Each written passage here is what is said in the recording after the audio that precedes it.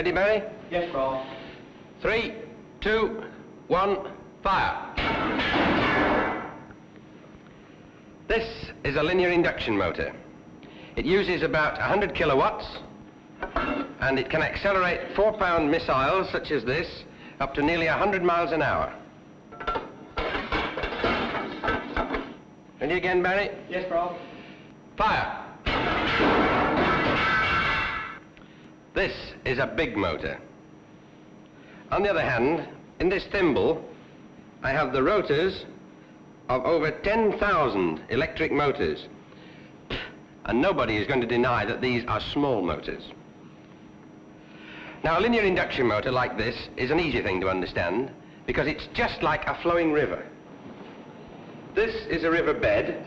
If I dip a piece of wood into the river, turn on the water, the first thing that happens is that the wood floats. It rises up, and then when the river is flowing nicely over the weir, I let go the wood, and it soon attains the same speed as the water. If, on the other hand, I dip into the river, a cylinder like this, which is free to spin,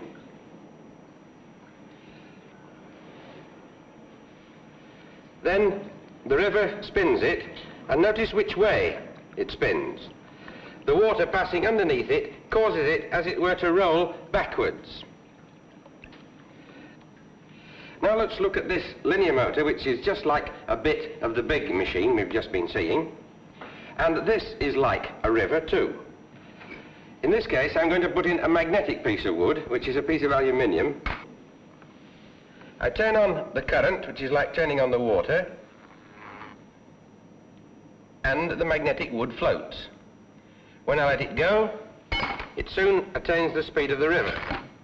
But of course, in this case, the speed of the river is much greater than was the speed of the water. Again, if I dip a cylinder, this time a copper cylinder, into the magnetic river, it spins in the appropriate direction. We can have a shallow river, there is a shallow river, or turn on some more water, there is a deep river.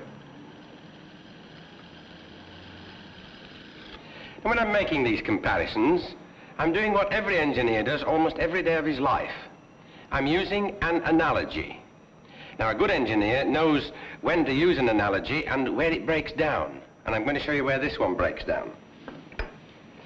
If I take a heavy cylinder, such as this, and place it in the river,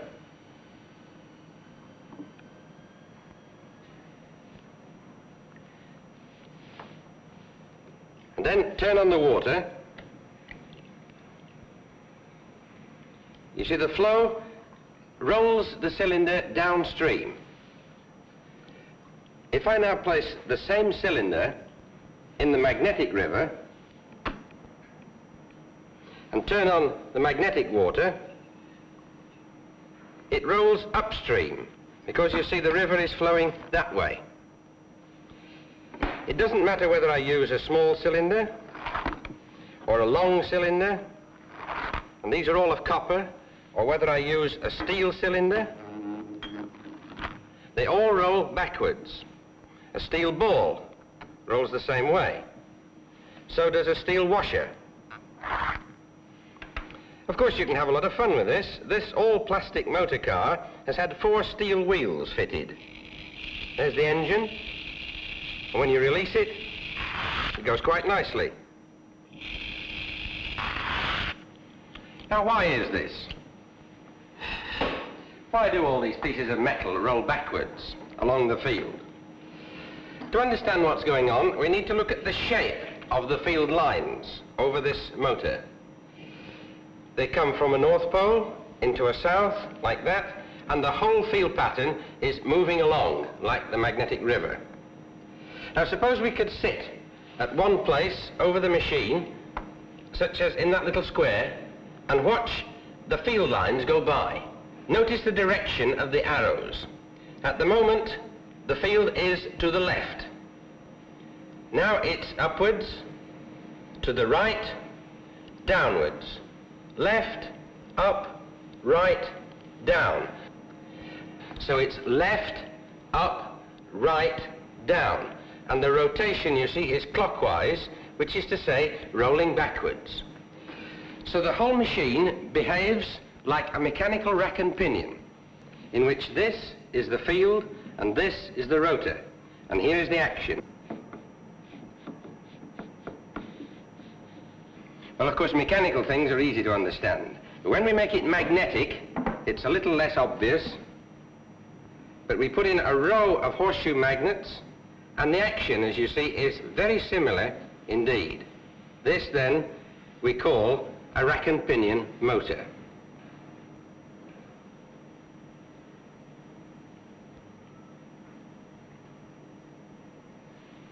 Now, in a linear motor, a row of electromagnets effectively replaces the row of permanent magnets, and instead of the many-toothed wheel, I'm going to use a very simple wheel with just two teeth. When I switch on the motor, the wheel spins, and if I disconnect one of the wires to this motor, I can stop this travelling field dead. Like that. And now we can see the shape of it. There is the field shape. If I draw the wheel slowly along the surface, you can see the rack and pinion action in slow motion in the stationary field. Now if I reconnect, I shall start the field moving again and spin the wheel. Now the rotary version of this machine is what drives an ordinary electric clock. It has a toothed wheel which moves inside a set of teeth on the stationary part. When I switch it on, there is a clock motor.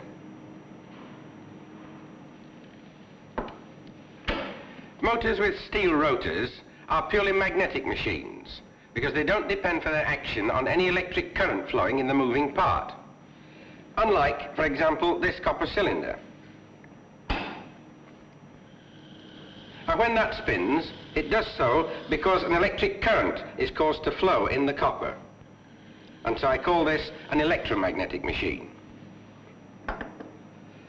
Now by far the most intriguing magnetic machine for me can be made simply with an ordinary paper clip. First, I unroll it and then wrap it around a pencil or other non-conducting rod and then offer it to the linear motor. Now, this spins very well as you see and yet there is clearly no electric circuit so no current can flow in the clip.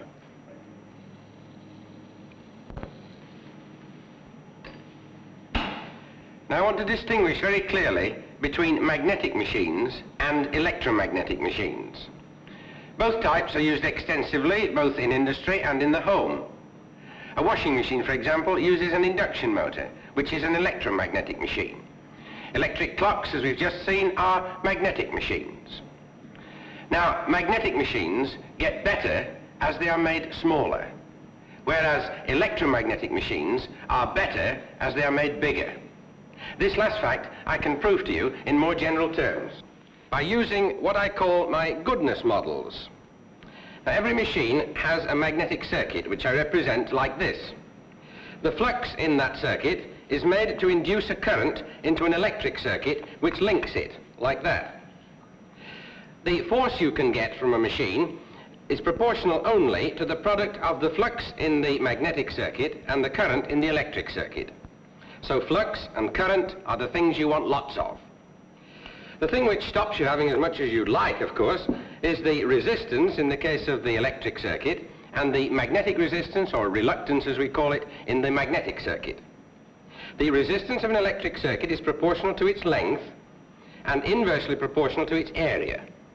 So if I take a second electric circuit, which is twice as big in every linear dimension as the first, then its length will be twice as great, but its area is four times as great.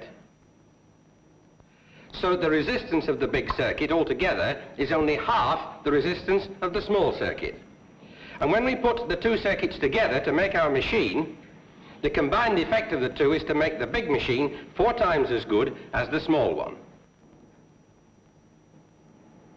So it seems as if the rule for electromagnetic machines is that the bigger they are, the better they are.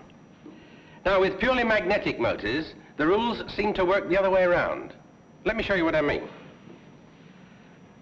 These sheets are made of rubber, but it's rubber which has been impregnated with a magnetic material, and they've been magnetized so that the whole of that surface is a north pole, and the whole of that is a south. And yet, there doesn't seem to be any measurable force between them they behave as if they were unmagnetized. But if I take some scissors and cut two pieces from one of the sheets,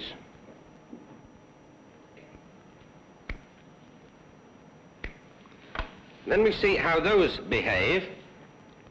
There's no noticeable repulsion, but at least there's some attraction. And if I cut smaller pieces still,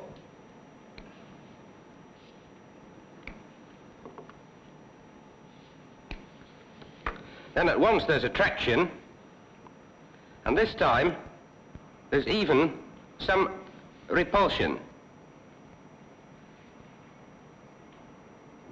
Put one piece on top of the other with reverse polarity, and it just doesn't want to know the other one. So magnetic things get better the smaller they are. Now let's apply this principle of size to our fascinating rack and pinion motors. I'm going to put a plastic tray on top of my row of coils and I'm going to roll along its surface some split steel washers.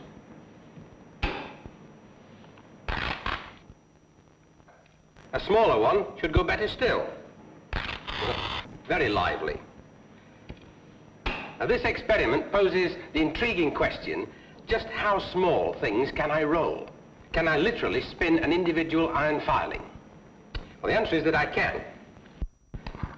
To demonstrate this, I'm going to cover the entire surface of the motor with iron filings. And switch on, and you'll see what happens. Well, I don't know what you expected to happen. I know the first time I tried this, I certainly didn't get the result I expected. Look at the way the walls are forming. Walls of filings, spacing themselves from each other. The spacing between the walls depends on their height. So I can comb this lot like I could comb my hair. All I'm doing now is flattening the filings down. And as I do so, they get closer together. If you look at an individual wall, you'll see that the bulk of the filings in it are actually at rest. It's only the ones around the outside which are moving, and they're producing a gradual drift backwards along the field. Many the experiments we've been doing with iron filings can be done with much simpler apparatus. For example, all you need is a horseshoe magnet and a means for rotating it. A plastic dish can be clipped over the magnet and then into the dish we put a steel ball. When I rotate the magnet slowly, the steel ball just goes round opposite one of the poles. That isn't very exciting, nor is the fact that when I turn more quickly, centrifugal force flings out the ball to the sides of the dish. But if I rotate more quickly still, the steel ball will become a rack and pinion motor.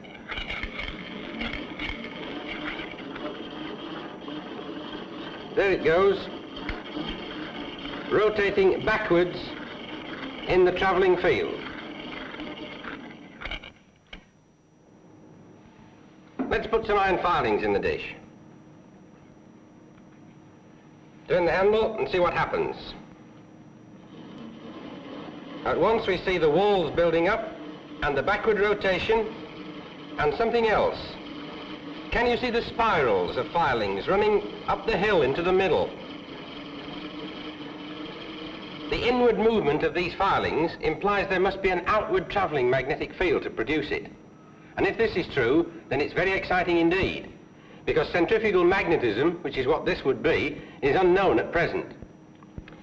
But if we turn the handle more slowly, and watch what happens in slow motion, we can see that the filings form into lozenge-shaped solids. And these are rolling over and over and spiralling into the middle for the same reason that any rolling object traces out a spiral on a flat surface. So we hadn't made a discovery at all. But of all the phenomena we observed with the iron filings, the most striking perhaps is the building up of the walls. It tells us, among other things, that when we make a rack and pinion motor, we shouldn't use a solid cylinder like this. We should divide the cylinder into a number of discs. These six steel discs have been spaced to match the spacing of the walls in the iron filing experiment.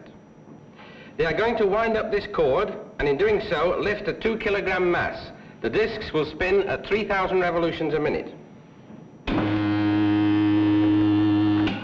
That is a lot of power to extract from such a small amount of material. In fact, that rack and pinion motor produces more power for its size than any other type of hysteresis motor. The shape of those discs is very similar to the shape of a coil spring. At least it is magnetically. The most recent research that I've been doing has been concerned with rack and pinion motors of this kind, where we put a very small spring inside a glass tube, because this could operate as a self-contained pump, a helical pump. This spins very nicely. And of course, smaller ones, being magnetic machines, operate better still. And I can spin this spring about three inches above the surface. Now, if I can develop these to the stage where they will be small enough to operate inside living tissue, then they could be very useful to the surgeon during operations. If this should be successful, then I'm never going to forget that it began with no more than a paperclip and a pencil. This, then, is the world of small motors.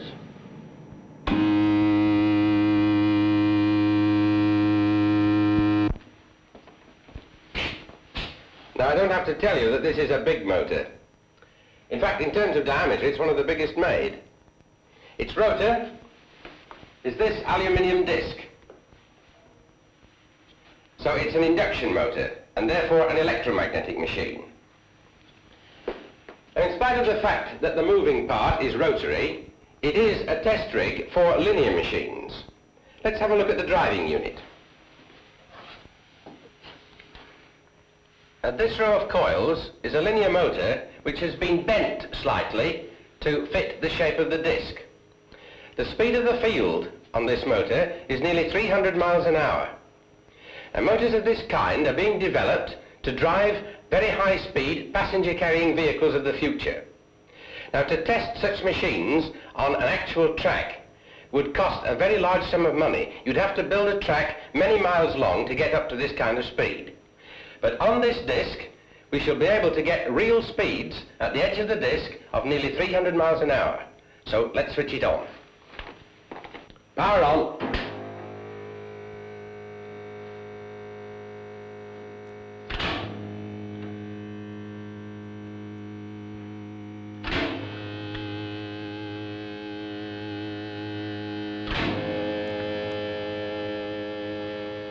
But remember, whether it's a big, complicated piece of machinery like this, or if it's simply a paperclip and a pencil, in the world of motors big and small, the work you've just seen is only the beginning.